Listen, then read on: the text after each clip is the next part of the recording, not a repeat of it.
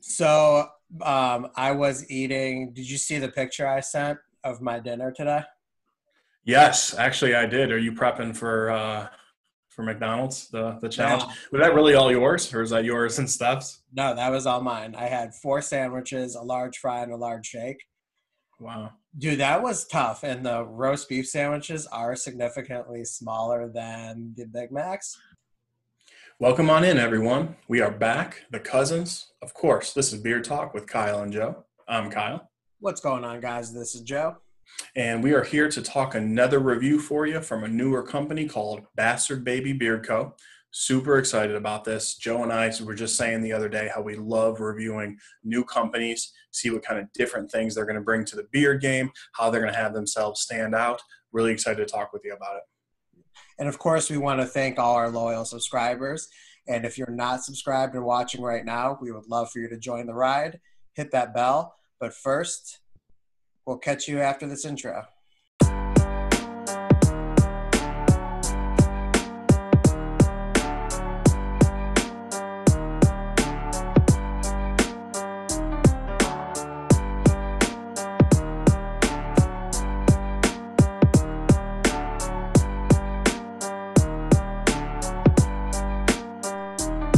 Welcome back from the intro, guys. So, like we were saying before, today we're going to be doing a review for you on Bastard Baby Beard Co.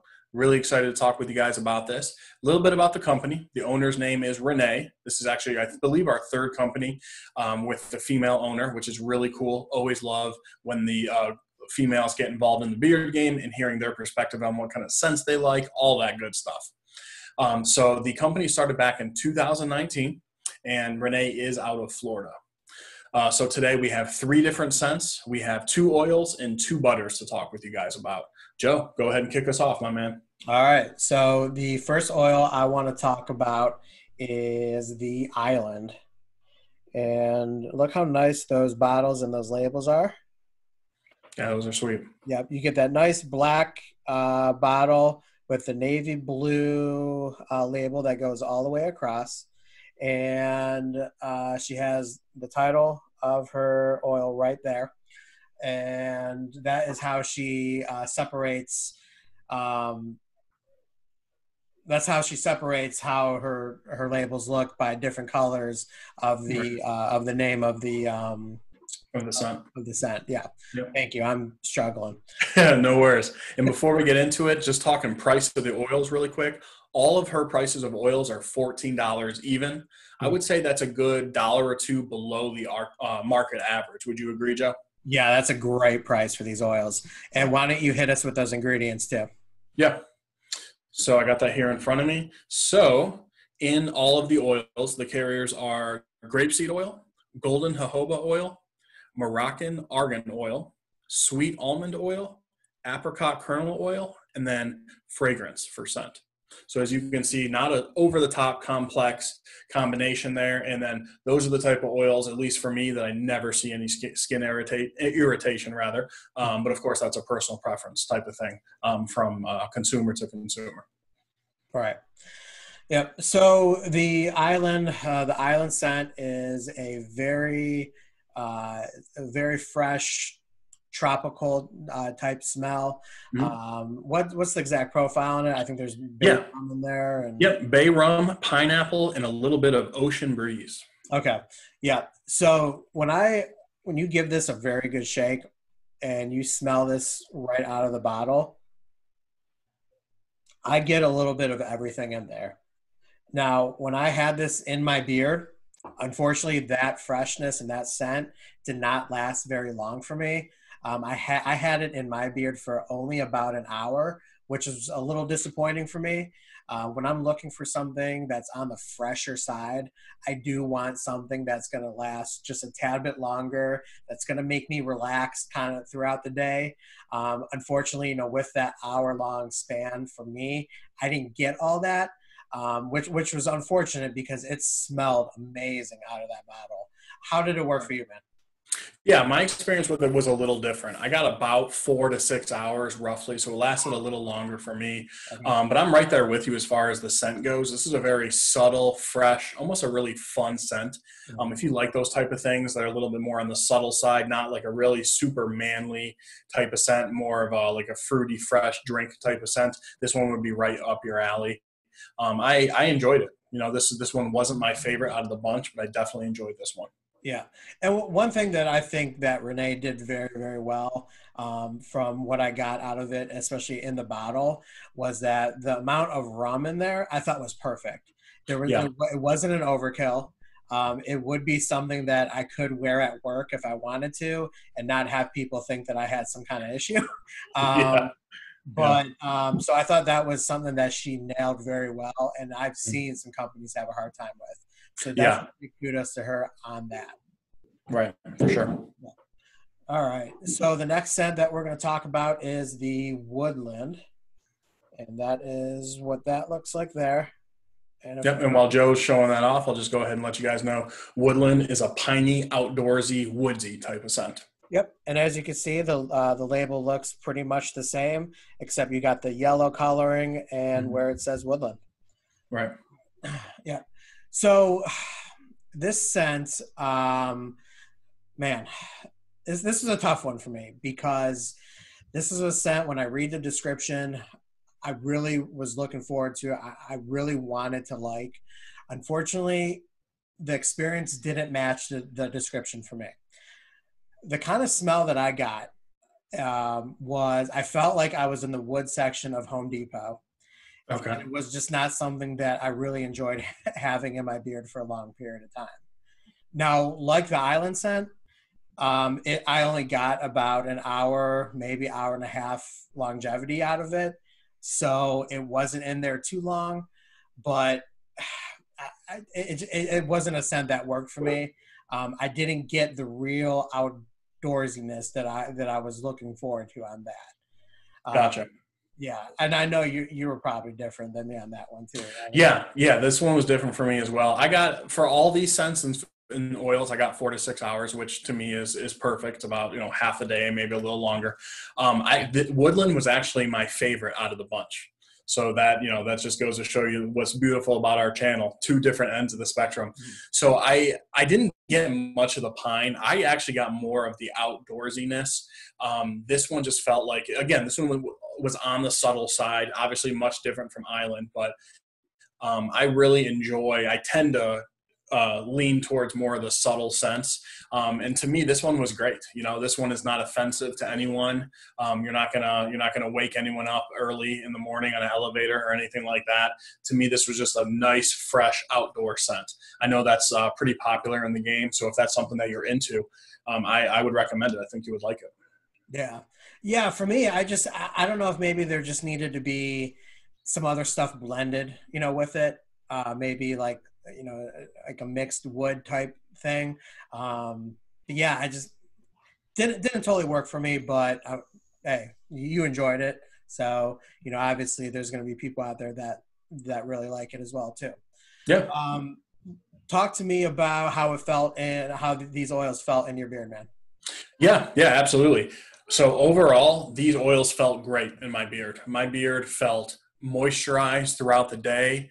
Um, there is just times towards the end of the day, typically, sometimes when, when a beard oil doesn't work for me, I even an hour later, I can just feel just scratchy and just not working.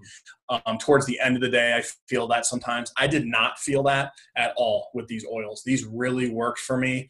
Um, felt great in the skin, felt great in the beard. I would have no problem using these on a daily basis. Okay. Yeah. Um, yeah. Yeah. These, you know, th- these are fine oils. Um, I thought that they were um, a little a little on the greasier side for me. Um, my beard uh, was was okay on it. Um, it wasn't again. It, these weren't products that I was absolutely like wow, you know, really wowed uh, with. Um, nothing that really you know blew me away. Uh, but you know they're they're they're really solid, and I think what Renee did um, as as as a new company owners, I really think she set a very good platform for herself. I think she has a lot of room to really grow and make some maybe adjustments if she chooses to do so with these oils. Um, and I really think she set up something really nice for herself. Unfortunately, I, these just weren't oils that I can say truly worked for me, um, and I did not. I didn't have the best experiences, you know, with them. Um, but she left me some. She left me with something that when I get something like that, I really look forward to see what's going to happen in the future because when I don't particularly care for a, a, product, I get anxious to see to, to see what comes out next to see if my mind could eventually maybe change on those, if that makes any sense. So yeah, yeah, yeah, I hear you. All right, so yeah, let's go ahead and dive right into the butters. All right, so we'll stick with the uh, with the woodland scent and this is okay. the first scent that we have here. And you have the nice black tin, uh, black tin uh, container there.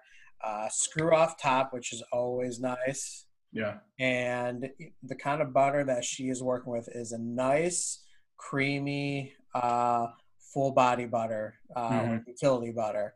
Now, let me tell you something the feel of this, and I've made it known that I am more of a utility full body type butter person. This had, I mean, the way this was nice and creamy. I mean, this was everything that I look forward to in a feel of of what a butter you know should be. Uh, right. But I really, I really enjoyed that. Um, again, the scent, you know, well, we I already discussed the scent. Um, you know, wasn't wasn't my favorite, but um, the way the butter felt wasn't wasn't too bad. Uh, my beard, my my beard felt pretty soft in the morning. Again, nothing that you know blew me away, but I felt like it, it got the job done. Um, but I love the consistency and the texture that she had with with that butter. How about you? Yeah. yeah. So real quick, um, all the butters are fifteen fifty. Okay. So you're talking fourteen dollars for an oil, fifteen fifty for a butter. I mean, I don't know how much better you're going to do than that. I mean, that's really uh, a very fair price. And then, real quick, the ingredients on the butter we're looking at shea butter, mango butter, beeswax, jojoba oil, argan oil, and then, of course, uh, those fragrances as well. And I'm right with Joe. This was, for me, for a full body butter, the exact consistency that I want. Um, this is something that I actually, I'll always, whenever I test out a butter, I'm to wear it at night. I'm also to wear it, wear it during the day. I usually like one or the other better. I didn't. I thought this was great during the day. I thought this was great at night. My beard felt really soft in the morning when I wore it at night, which I really appreciated. And then what I look, what I personally look for during the day is I don't want my beard to feel weighed down. I want it to style pretty close to um, when I just have oil in it, just that lightweight feel, and it really did.